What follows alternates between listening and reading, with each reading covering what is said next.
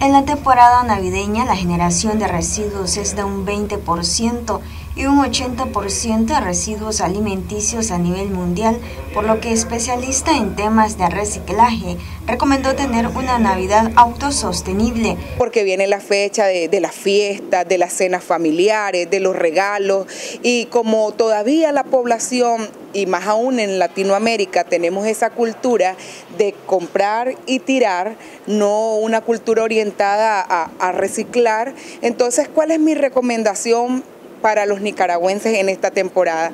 Para que podamos hacer eh, una Navidad más sostenible, eh, hablando de los temas de la generación de residuos sólidos.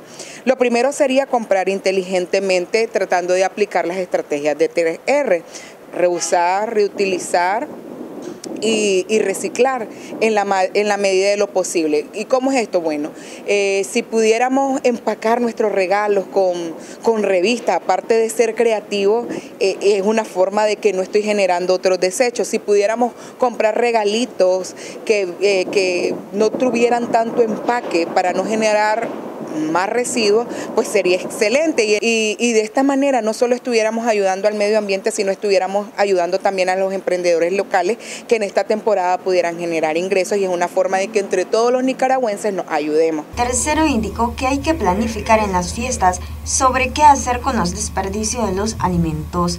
Como vienen fiestas y el Nica nos gusta comer y comer en abundancia, y no es malo, pero sí planificar eh, para las fiestas para que no haya desperdicio, porque también con esto de, la pandemia, eh, no solo estamos generando los desperdicios mm, normales que a los que estábamos acostumbrados para la temporada, sino que también se están generando otro tipo de desechos.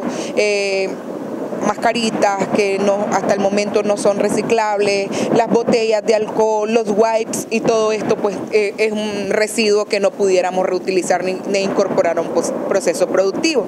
Entonces, este tipo de residuos, guardarlos en, en bolsa solitas porque también son contaminantes y desecharlos no con la basura convencional para no poner en riesgo ni nuestra vida ni la salud de las otras personas. Noticias 12 Darlene Telles.